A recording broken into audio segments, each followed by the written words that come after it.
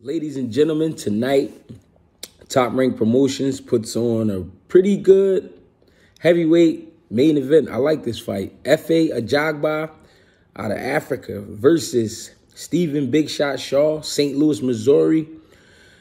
Ajagba coming in with a 16 and 1 record with 13 knockouts. Big Shot Shaw coming in with an 18 and 0 record, 13 knockouts. Safe to say the punches are there. Um, it's possible we may see a knockout tonight. I can't say where it would come from because the styles contrast pretty good. Um, Ajagba, six foot six, weighing in at 234 pounds.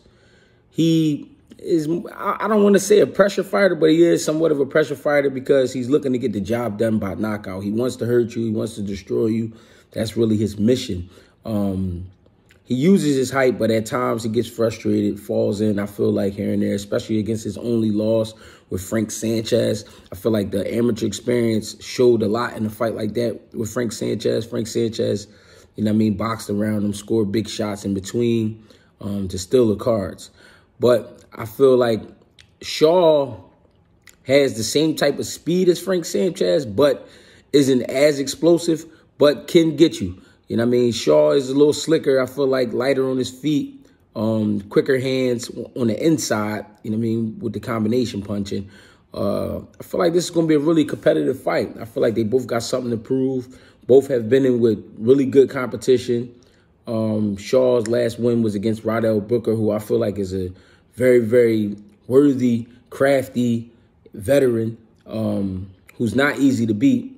His boxing IQ is through the roof. So I feel like for Shaw to get a win like that, I feel like he's definitely worthy of this opportunity, especially being that he's 30 years old. I feel like this is his coming out party. You know I mean? This is the fight that'll make him, not make him like as if he isn't any good, but I mean make him in a sense like this is going to be one of the guys we start to talk about because Efe Ajagba is a big man, um, and we do know who he is. But he hasn't got that signature win just yet. So I feel like this is one of those fights where both fighters will elevate from this fight.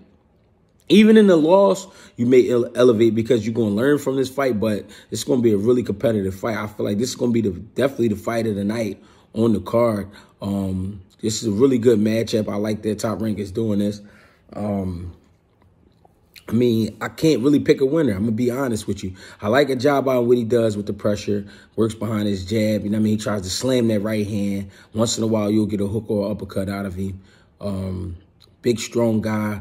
I mean, comes in shape. Shaw, six foot four, comes in shape, ready to box, ready to stay sharp. He's very alert.